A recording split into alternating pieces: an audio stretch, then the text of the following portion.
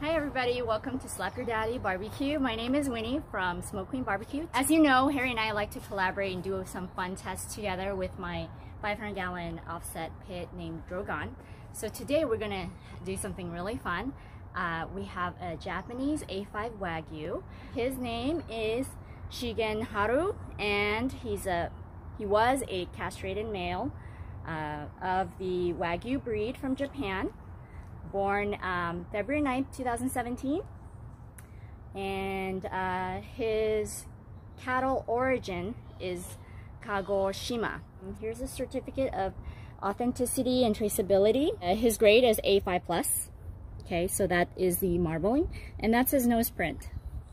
So today we are lucky enough to get that um, donated by somebody, uh, anonymous donor.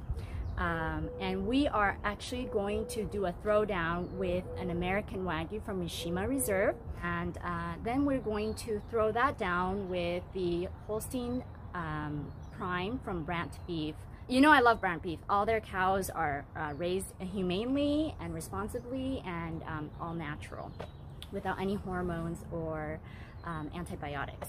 Japanese Wagyu, I believe I looked online, is anywhere from six to eight hundred dollars just for the uh, the brisket.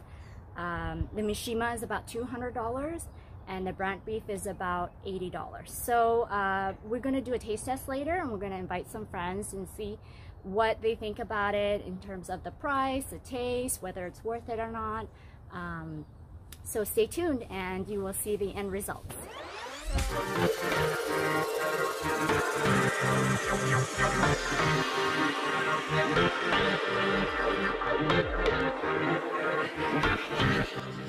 as with any test, you want to have um, everything controlled, all the elements of, of um, the items controlled and only one variable. Today the variable is going to be the grade of meat, okay?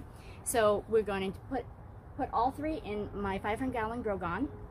We're going to season it plain, salt, pepper, and MSG, and that's a homage to Uncle Roger. We're gonna keep the seasoning very simple and let the meat do the talking for us. And we don't mind your MSG.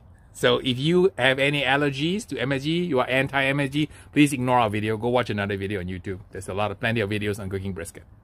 So we have the Japanese Wagyu here, and the Mishima American Wagyu. And this is the American USDA Prime Holstein breed from Brandt Beef. So we got three briskets side by side, Japanese A5 Wagyu, American uh, Wagyu, and USDA Prime, okay? First glance, these two look kind of the same. Technically, uh, this American Wagyu is a hybrid of these two. But look at this Japanese Wagyu. It looks like a piece of tuna. Actually, no, it looks like a whole tuna. Um, it just doesn't look like a brisket. When I first got it, I was kind of confused. I wasn't sure where's the point, where's the flat, uh, you know. It um, Right now, I'm still not sure where is the fat cap and where is the flat. But take a look at the marbling here. Insane, right? I know this is the flat, so that's probably going to taste like the point. And this is the point right here. This is all the marbling. Um, just by feeling it, there is barely any hard fat. So um, I believe everything is edible, but I'm gonna do some trimming. Um, I think this part right here is what I call the eye, which is equivalent to these two pieces of fat here, which I usually trim out. Today I'm gonna trim them restaurant style. Uh, well, kind of in between restaurant and block, right? Um, I still want it to come out pretty um, and I want it to come out more evenly cooked. So I'm gonna make it a little bit aerodynamic. I'll collect the fat here so you can see how much I trim out. When I first started making briskets, I was very scared to trim away my money, basically. So I was very stingy in terms of trimming. But now I realize that, you know, if you don't trim some of these pieces out, especially like the, the thin pieces here, all this is not going to be pleasurable to eat when it's done after, you know, 10, 12 hours of cook. So you end up losing that anyway. So you might as well trim it out, repurpose the meat for something, make tallow, make sausage, make chili, Hamburger. hamburgers. So for those of you wondering why there's scalded meat on your brisket is because uh, when the uh, carcass is fabricated at the factory, at the production plant, they wash it in hot water. So the hot water will scald the meat. You can trim it off if you like. Uh, some people leave it on. I think both ways is okay. We I like to trim it off. Winnie also like to trim it off. It's customary for brisket to do a 45% yield. So that means a 10 pound brisket eventually will only allow you to sell about four and a half pounds of meat. That's why when you go to a barbecue restaurant, they have to charge you between 25 to 32 dollars a pound for cooked brisket. That's the reason why there is a lot of waste and shrinkage when you cook a brisket. So I like to leave about half inch or so um, of the fat cap. Um, you know, and sometimes you go a little bit more in or a little bit out, doesn't matter. Um, more or less, like there's no, don't go getting a ruler and measuring. So here I kind of went in a little bit uh, too far in, but you know, just kind of recover by lifting up the knife. Um, also, another thing you can do is use your fingers. You need to feel what is hard. Whatever is hard is not going to render. Okay, so this soft, pillowy uh, fat, that's going to render and that's actually going to taste really good. So the goal is uh, you see when you're trimming away the fat cap, you usually want to leave about maybe about half an inch or so, so that when you finish cooking, the fat renders, and when you serve the customer, you end up with like a quarter inch sliver of fat at the end. That seems to be ideal. When I compete, I like to leave a quarter inch fat for the judges, so that way you know you don't offend any judges who don't like fat. At the same time, for those judges who are purists who want to see a little bit of brisket fat on the winning entry, that's kind of how we do it. So it looks like the uh, a pile of uh, rubble here about the same, right? What do you think? Huh? Almost. About the same? Almost the same. I think this one is heavier than this. Oh, this is much flatter, yeah. So for those of you who are not aware what uh, this is, this is Japanese Wagyu. The reason for this kind of a striations and marbling on the Wagyu is because of something called the Delta 9 mutation. The Japanese breeders discovered that one of their cows had this Delta 9 mutation that creates a fantastic, fantastic marbling. So they selectively bred the uh, Delta 9 mutation over time, refining the bloodline. So to today, you see the final result. These Wagyu cows actually were origins came from England, from the Hereford series, but due to the mutation, they have this amazing, amazing marbling. So everybody in the world is now trying to replicate the Japanese, but the Japanese have a very, very sophisticated and complex breeding uh, history and tradition to be able to create uh, the bloodline that results in beef that looks like that. That's why you pay top dollar for Wagyu beef from Japan. Here's a black belt trick I learned from Harry. Put your non-dominant hand underneath the meat, lift it up with your fingers, and just slice it through. That way it's easier to just get that top layer of fat and not and not nick the meat too much. Okay, here's a final trim that Winnie did on the uh, Wagyu. Absolutely beautiful, gorgeous striation and marbling. Okay, we're gonna season the brisket with a little bit of uh, salt and pepper, traditional Texas style, a little bit of mustard, smear, a little bit of uh, Jesus dust. For those of you who do not know what that is, go what, read. Uh, is it Rodney? Rodney Scott. Jesus tears. Jesus, no, Jesus dust. Dust or tears? Tears. I'm not sure. Anyway, uh, go go go read his book if you want to know what we're doing. So this is a little secret here. Those of you who are interested to see what this is here, just a touch of that. You can do this in a shaker bottle, or you can just apply with your hand once you have a little bit of practice. It's not really that hard to do. Uh, Winnie's using a coarse black pepper. Usually you want to do 16 mesh approximately? Yeah. This is the prime. And this one is the American Wagyu. last but not least, you know, I will probably never do a A5 Wagyu again. So I want to save the fat. all the fat. I'm going to uh, put it on a tray, lift it up on a rack, and harvest the fat for later use. Excellent. It looks beautiful. So now it's been six and a half hours. We've been running the pit on this end about 200.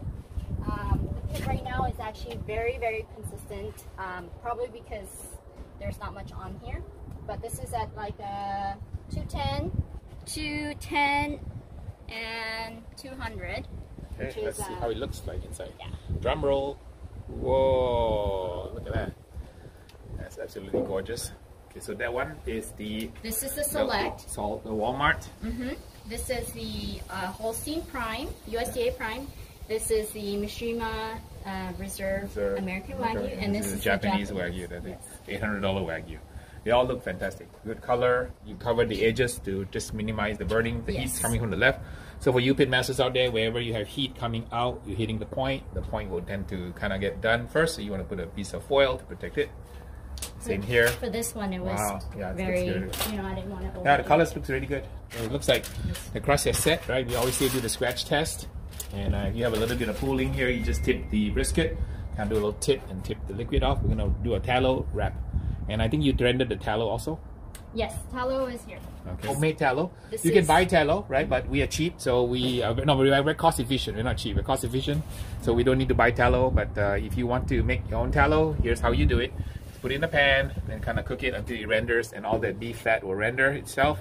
You get some chicharrones at the end also. So this is gonna go into a warmer at uh, 275. We're gonna run it about two hours, 15 to 20, and then after that we're gonna give it a long rest at around 140 degrees to achieve brisket perfection. And we're gonna go preheat to 275, run it for about two hours, and then we're gonna do a hold on it. And if you're like Pitmaster Winnie, you got one of these 3,000 or 4,000 dollar units. What's this? Really expensive units. Definitely need this to cook briskets here. All right, and we're gonna put it in, and we just automated mechanism, super easy to use. The briskets in, so we got four briskets to test. The Walmart ones are to be on the top because Okay. it's the biggest one. All right, I put the Wagyu in the middle because the, uh, the Japanese Wagyu because, you know, it's very delicate, so we've got to check it, right? Okay. All right, preheating, and put these puppies to rest. Here we go. So I'm gonna cook it at 275 and then I'm going to hold it at 145 and the timer will be at one and a half hours after that. So it means that um, it will cook at 275 for one and a half hours and after that it will automatically go down to 145 which is my holding temperature. So I normally do about two hours or so and that's usually with a cabinet full of briskets. Um, so since I don't have that many briskets today, I just want to check it at one and a half hours. Um, I don't want to overcook the, the Japanese Wagyu, so want to play it safe. If at one and a half hours I feel that it needs a little bit more time, I can just add another 30 minutes to it. And then how long are you gonna hold this thing? I'm going to hold 12, it 15, 15? 12 to 15 hours. Actually, what I do is take it out at 9 a.m. Um, let let it cool down a little bit um, more because at that time it'll be at 145. Um, you don't want to slice at 145. I feel like uh, all the juice will still spew out. Um, so I like to slice when you can touch it with your hand. Like, so when it's not too hot, but when it's still warm to the touch. So about one hour coming out to rest to take it down from 145 down to maybe about 100 or so. Yes, yes, Okay. All right, you heard it, folks. Pitmaster Winnie's secret method to fantastic brisket. So there you go. A hold time is important. A rest time after hold is also important. The uh, $800 Wagyu. Yeah, this is Walmart. This one is an American Wagyu. So uh, no expense was spared for your eating pleasure today. So uh, for those of you who, who never heard about uh, this thing, so this is the oleic acid, and the reason that the wagyu is so amazing is because of a mutation in the genetics of the cow. This is cooked perfectly. Super delicious. So tender. Nothing is shredding. There's no burnt parts. All right, let's cut the second one up. But I'm going to cut out the Walmart one now. Jiggly, jiggly, jiggly. Right, very jiggly. Look at that little nice jiggle to the meat here. How juicy this is. See that? Look at that. You see the juiciness of the fat. And this is the Walmart cheap brisket. Okay, so there's two muscles. The, the brisket muscle is comprised of pectoralis minor, pectoralis major, which is the Chest muscle. point and the flat. Right? So these are Arnold Schwarzenegger muscles on a cow. Right? Arnold Schwarzenegger muscles. And don't worry about the grade, just taste it for what you like. The point is always more fatty. The Everything flat is one less first? fatty. No, you, you it's up to you. You decide. You think I Can can I- use the pen? And Oh yeah, yeah. write? You can write. You can write Yeah, your scores on a pen. We need here. some more pens, and then uh, if you can text the the what do you call your results to Winnie and me, we will tabulate the results and make this highly unscientific. okay, guys. So number one was, I'm sure you guys guessed it, um, the Walmart brisket. Number two uh, was the prime. Number three, the Japanese wagyu. Eight hundred dollar brisket. Yes. Number three. Everybody knew that. four is the American wagyu. I had that right. So right. Chiming's gonna give you the score. So it was actually really close. One, two, three, four. Okay. Number one got 27.8 points. Twenty-seven point eight. And then number two got 30.1. Okay. Number three got 35.9. Okay. And number four got 31.8. Exactly how I would have thought of it. okay. He's psychic. Wow, it's different for sure. the texture is completely different, so it's not a fair comparison. It's like Yeah. taking a Lamborghini against my. Uh, when I you know, tasted the fat, I, I was totally thro- thrown off. I was like, "What is It's this?" The oleic flavor acid. It's oleic different. acid. Mhm. That's how the oleic acid, this is, oleic acid tastes like. Very different on the A5. It's a super mouthfeel. It's very And- unctuous. I've only heard about that on other YouTube videos where they talk about A5 fat. And I've never understood it, and now I kind of really understand it. So the scores are, are reflective of you know overall. So Walmart was a 27.8, the Brandt Prime 30, Japanese Wagyu about 36, and then 32 on the Mishima. So uh, there you go, folks. Winnie has written the pricing down. So the Walmart brisket is sixty dollars, 18 pounds, 298 a pound. The Brandt Prime is 380 a pound for $55. The Japanese Wagyu is $800 for this is $63 a pound. And the Mishima Reserve American Wagyu is about $12.50 a pound. $200 brisket. So $200 brisket, $800 briskets, $55 brisket, and $60 brisket. So your mileage will vary, but when you buy briskets, uh, be aware that, you know, sometimes you pay a lot of money, but you may not get, uh, you know, 10 times the flavor improvement but this will give you a very very good guide on the kind of money you want to spend on your friends and your family Yeah, what would you buy I'm going to do the prime as well. I think um, the fat sometimes can get a little too much. too much okay so for, for my personal taste. for your personal so so say 55 bucks is a good deal right on Good a prime deal, yeah. okay all right I'm gonna go with number three. Um, I don't like a lot of fatty meat, so that one was had less fat to me. So I'm gonna go with number three. $800 yeah oh man all right Winnie what do you think Uh, I would do the American Wagyu. I think uh, it's a little bit more um, when you're okay. So when you are smoking for your family, right? It's cheaper than going out and buying a whole brisket cooked. So I would just do the American Wagyu, just American because Wagyu. it's a little bit uh, better. what, what do you want I would do the prime because Prime. You, know, you get the best bang for your buck. It's only fifty-five bucks, and it's almost uh, almost comparable to the American Wagyu. You Yeah. can see the scores. Yeah. Yeah. Okay. So everybody decides they, they want to try different uh, combinations. Uh, my choice is uh, I'm cheap, so I would go for the prime. Right at at, six, at fifty five dollars. This is really good. If I were competing, uh, I don't know if I would spend eight hundred dollars in a contest because if first place brisket is not eight hundred dollars, right? That's taking a huge risk. Unless it was a ten thousand, fifty thousand dollar grand championship, then you throw in this this uh, brisket here. But you know the Mishima is very good. So actually for competition, I'm actually torn between the two hundred dollar and the eight hundred dollar. For competition, I would not use the Walmart nor the Prime. But for eating at home, serving my friends and family, hard to beat three dollars and eighty cents a pound, right? Oh, yeah. So I would say if it's like a big group, I'd go prime. And if it's like a smaller, intimate, then yes, the American Wagyu. Stole my answer. Yeah, and then you are a financial person, so you know numbers. Yes, I did it all on Excel just now for us. And yes, I used to be a finance director, so it's all there. So what would you buy for your family? For my family, it's definitely the American Wagyu. Uh, it, it depends how much you love them, uh, but definitely the, the American Wagyu. Um, for one person, if I was just going on a date or something, number three, the Japanese Wagyu. All right. But for everybody else, number one. So for all the single women out there watching this episode, please go check him out on Instagram. He's uh, gonna cook you a eight hundred dollar piece of meat as a first date. First date, right? First date. First date. First date. If, if- no, no, I, I'm, I have a girlfriend. Oh, Sorry. oh, Sorry, okay. everybody. All right, sorry, sorry. He's off. He's off market. So forget what I said.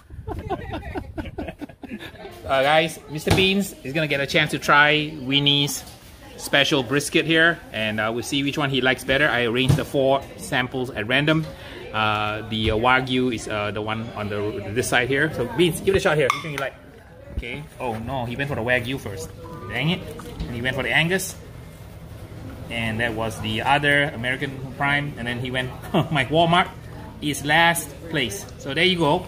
That's what happens. Mr. Beans knows his way around brisket, and he has a whis brisket whisperer here. Thanks for stopping by, joining this episode. Hope you guys found this useful. Huge thanks to Pitmaster Winnie for offering us to use Drogon. Thanks to all the guests who stopped by today to watch this episode and be our taste testers. All right. So until the next video, please be safe. We'll see you guys in the next one.